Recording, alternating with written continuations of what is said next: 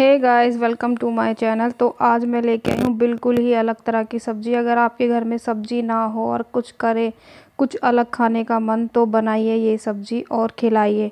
अगर आप किसी को बना के खिलाएँगे, कोई बता ही नहीं सकता ये कौन सी सब्ज़ी आपने बनाई है तो वो पूछने के लिए मजबूर हो जाएँगे आपसे। तो चलिए, चल के बनाते हैं और देखते हैं कैसे बनाने हैं इस रेसिपी को। तो यहाँ मैंने ली है ये चने की दाल। तो ये आधा कप है। इसको मैंने तीन से चार घंटे भिगोया है अच्छी तरह से धो के तो ये भिगोने के बाद इसे हमें अभी पीसनी है। तो यहाँ मैंने मिक्सर जार ले लिया है। तो इसमें हम अपनी सारी दाल कर लेंगे पीसने के लिए। और इसमें लेंगे एक मीडियम साइज़ का आलू, जिसे मैंने धो के अच्छे से छील लिया है, इसमें काटेंगे। और इसमें हमें पानी नहीं मिलाना है, क्योंकि पेस्ट हमारा पतला हो सकता है। पाँच से छः लहसुन की कलियाँ हम इसमें डालेंगे। और थोड़ा सा अदरक का टुकड़ा इसमें काटेंगे। इसमें दो मिर्ची डालनी है और इसको हम अभी पीस लेंगे। तो पीसने के बाद इसे सॉफ्ट सा पेस्ट बनाना और बिल्कुल पतला हमें ये पीसना है बारीक। तो अभी इसे हम एक बर्तन में निकाल लेंगे। तो मैं यहाँ बाउल में निकाल रही हूँ। तो सारे पेस्ट को निकालने के बाद इसमें हम डालेंगे थोड़ी सी हल्दी। थोड़ा सा नमक और इसको हमें अच्छे से फेंटना है, क्योंकि जितना अच्छा आप इसे फेंटेंगे, उतने अच्छे आपके छोले बन के तैयार होंगे और सब्ज़ी टेस्टी बनेगी। तो इसे रख देंगे हम साइड। यहाँ मैंने एक गिलास लिया है। तो अभी हम बनाएँगे एक पाइपिंग बैग। तो आप मार्केट से भी ला सकते हैं रेडीमेड या फिर किसी पोलोथीन से भी बना सकते हैं। या फिर आपके घर में पैकेट वाला दूध आता है, आप उससे बना सकते हैं। तो किसी से भी आप ये कर सकते हैं। तो यहाँ पे मैंने पाइपिंग बैग के लिए ये पोलोथीन ले लिया, मेरे पास रखा हुआ था ये। तो इसमें हम भरेंगे जो हमने पेस्ट बनाया हुआ है, आलू और चने की दाल का तो वो इसमें हम सारा भरेंगे। तो गाइज़ आज की मेरी वीडियो अच्छी लगे तो मेरे वीडियो को लाइक ज़रूर करें, क्योंकि आपके एक लाइक से मुझे बहुत मोटिवेशन मिलता है और चैनल को सब्सक्राइब करें। अगर आपने चैनल सब्सक्राइब किया हुआ है तो दिल से धन्यवाद। तो अभी आप देख सकते हैं मेरी पाइपिंग बैग बन के तैयार है। तो चलते हैं आगे के प्रोसेस के लिए और बना लेते हैं रेसिपी तो अभी लेंगे एक बर्तन तो जिसमें आपको बनाना है, उसमें डाला है मैंने मस्टर्ड ऑयल आप कोई भी ऑयल यूज़ कर सकते हैं। तो इसको हम अच्छे से गर्म होने देंगे, उसमें डालेंगे हम थोड़ा सा जीरा तो ज़ीरो को हल्का सा भुनने देंगे, उसमें डालेंगे फिर हम मीडियम साइज़ के दो कटे हुए प्याज तो ये मैंने दरदरा पीसा हुआ है, इसको हम भून लेंगे। तो प्याज को हम ब्राउन होने तक भूनेंगे तो भुनने के बाद इसमें डालेंगे हमने दो मीडियम साइज़ के टमाटर लिए हैं, उसकी प्योरी बना लिए। तो इसको हम डाल देंगे और इसको भी हम अच्छे से फ्राई करेंगे, तलेंगे, जब तक इसमें थोड़ा तेल नहीं आ जाएगा। तो इसको भी हम ठीक से भून लेंगे।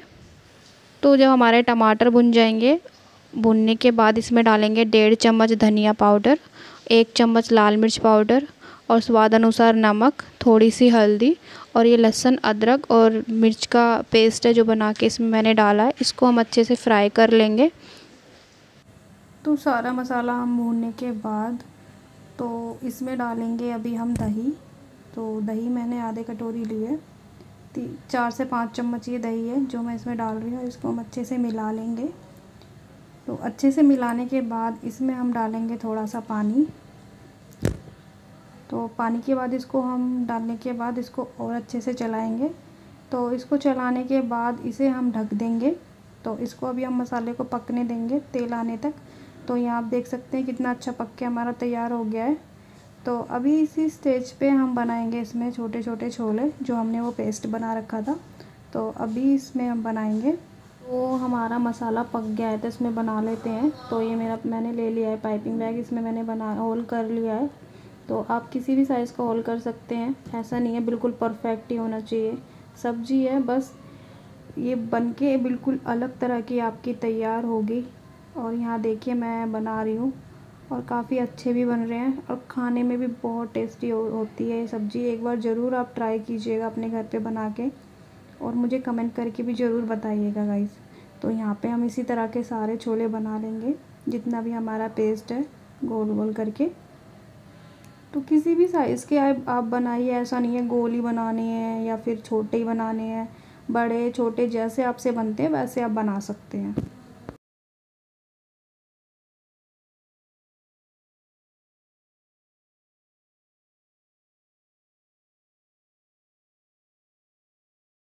तो यहाँ पे मेरे बनाने के बाद थोड़ा पेस्ट और बच गया है। तो हम इसके ऊपर क्या करेंगे, आपके पास कोई छलनी है तो इसको रख देंगे। इसके ऊपर मैंने थोड़ा सा रिफाइंड लगा दिया है। तो इसके ऊपर भी हम ये छोटे छोटे गोल गोल छोले से बना देंगे। और इसको हम इस, हम इससे ये स्टीम होते रहेंगे और ऐसा भी नहीं है अलग से आपको पानी रखना है।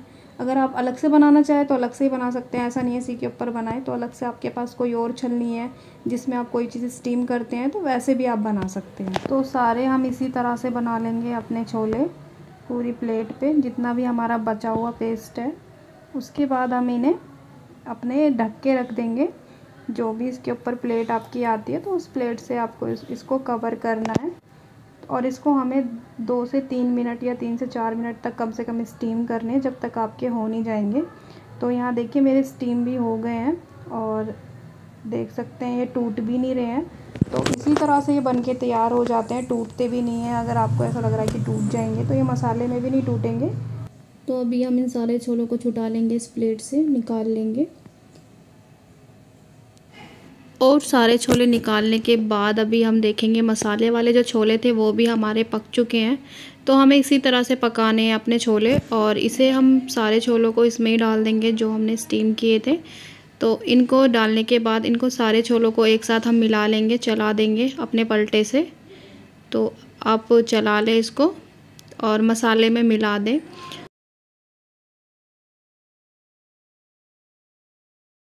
तो अभी सारे छोले मैंने मसाले मिलाने के बाद अभी डाला इसमें पानी। तो पानी आप अपने हिसाब से रख सकते हैं। कम ज़्यादा ग्रेवी वाले खाने हैं तो कम पानी डालें। अगर आपको पानी वाले रस वाले रसेदार जो होते हैं वैसे बनाने हैं तो आप वैसे ही बना सकते हैं। ये दोनों तरह से ही टेस्टी लगती है ये वाली सब्ज़ी क्योंकि बिल्कुल ही अलग एकदम यूनिक टाइप की है। शायद ही आपने खाई है। अगर खाई है या बनाई है तो प्लीज़ मुझे कमेंट करके ज़रूर बताइएगा कि आपने भी बना के खाई हुई है और बनाई है तो सेम इसी तरह से बनाई है या नहीं बनाई है। तो सारा पानी हम धीरे धीरे करके इसमें मिला लेंगे और अपने हिसाब से आप इसका रस रख सकते हैं। तो यहाँ पर मैं थोड़ा ग्रेवी वाला ही बनाऊँगी।